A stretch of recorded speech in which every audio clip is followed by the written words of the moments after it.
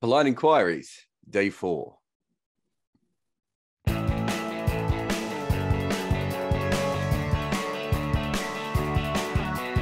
Peter Miller says, Can we now assume that the 2010 2011 Ashes was a glitch in the Matrix?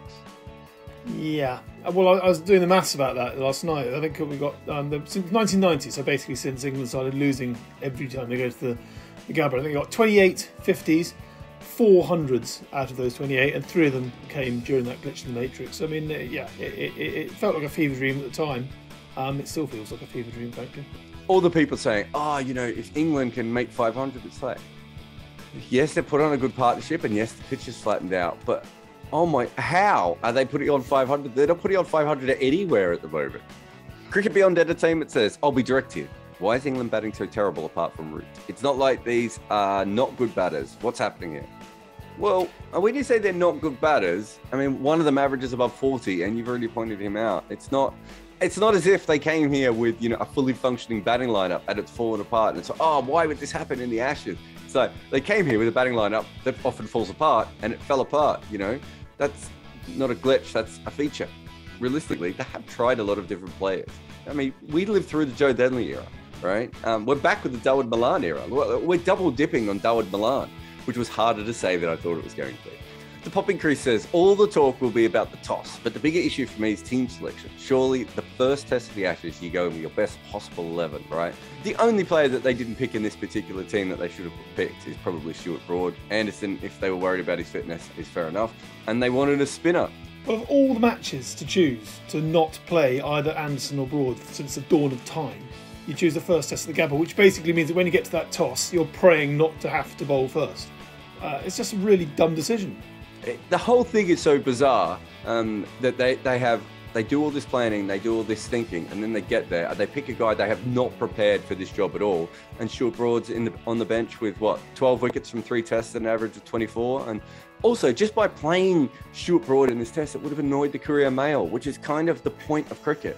Knuckle Panday says, Has Jimmy Anderson been teaching Ollie Robinson the reverse sweep? I mean, who does Ollie Robinson think he is, right? Okay, you, you're you're the main bowler in this attack. Well, partly because Chris Woakes didn't quite turn up. The main bowler in this attack. You're not Jimmy Anderson, mate. Put the reverse sweep away. All right, that's for the big boys. Lee Taylor says, should we be concerned about Australia's Ashes batting depth, given not a single Australian made it to double figures in the second inning? I mean, you laugh, but I, I didn't think they batted particularly well until England fell apart in the middle of the, of the second innings. Um, they're a Josh Hazlewood injury away from this being a draw. I think. I don't think. I don't think the Australians are like, "Wow, what a great side we have." I think they're thinking, "Wow, we won easy." I haven't seen an awful lot in what Australia offered, apart from their awesome bowling, uh, that is terrifying. Rajesh says, "Not so polite. What's required to sack Silverwood?" Oh, Rajesh has come in like a football fan here. Thumbs up. I mean, Silvers, bless him. I've, I've got a lot of time for him. I, li- I like him as a human being, but I mean, you know, the plans for England's Test team are an absolute car crash at the moment. And God knows what on earth he contributes to the T20 team. I mean, I, I can't, I can't imagine he had a huge amount to say in the in the matchups when Eoin Morgan's ruling the roost over there. So, what does Chris Silverwood do? You know, if you don't have a top three who can score runs, how can you? It doesn't matter how many all-rounders you have and the quality of your best bowlers, and wh- even whether you pick them. When it comes down to it, you won't make consistent runs and you won't win consistent test matches. I don't know if that's a coach um, problem, even if a lot of what Miller said maybe has some merit, although it's very rare that it does. Paul Frame says West Indies lost one series in Australia 5 0 in 2000 2001, and Cricket Australia reduced the length of West Indies test tours to three matches.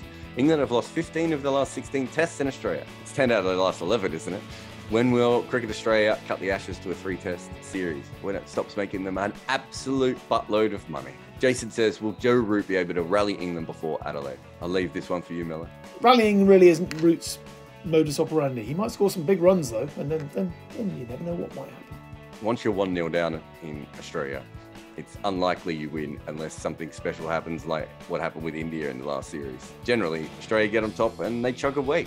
So, you know, get used to uh, Cameron Green and Travis Head and Alex Carey's double centuries over the next couple of test now.